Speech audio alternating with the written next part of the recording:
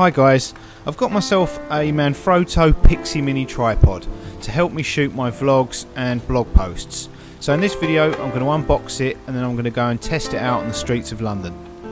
I recently got myself a new vlogging camera, the Canon PowerShot S120 and when I ordered it I ordered a travel tripod, the Manfrotto BeFree and I'll put links to both of those in the comments below. But sometimes I want a tripod that's just a little bit lower down or so I can set the camera on a wall.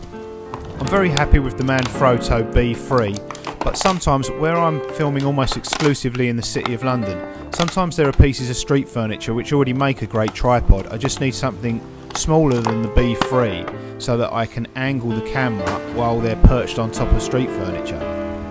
First impressions of it straight out of the box are it feels pretty well made like any other Manfrotto tripod. You can angle each leg independently so it's going to be great for uneven surfaces and if you press this branded button here you can revolve the ball jointed head. Then once you release the button it locks the ball head in place. I'm just going to attach it to my old vlogging camera and see how easy it is to set up.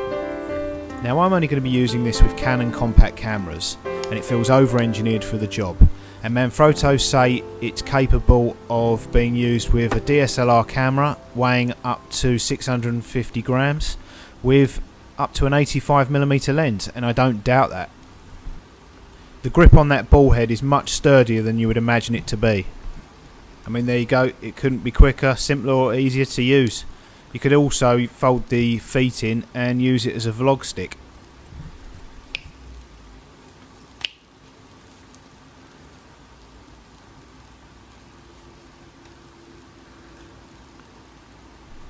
Right, so let's go and see how it performs out on the streets.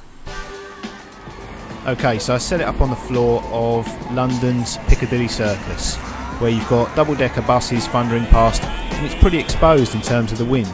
And it performed very well. It looks very stable. This is the footage it shot.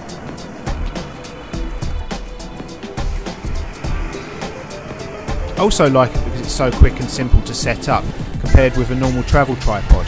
So here for a bit of extra height I've just set it down on a piece of street furniture and again the results are pretty good.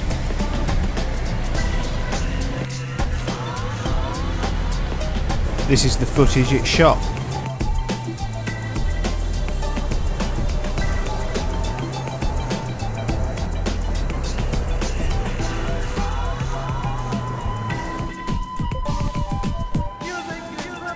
Okay, thanks for watching.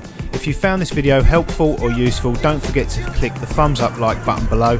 And if you'd like to be one of the first to see our next video, you can subscribe to our channel. And there are links below to all our social media. And as I said earlier, the Manfrotto PIXI Mini tripod with its feet folded in makes a great vlog stick. So let me take a video selfie.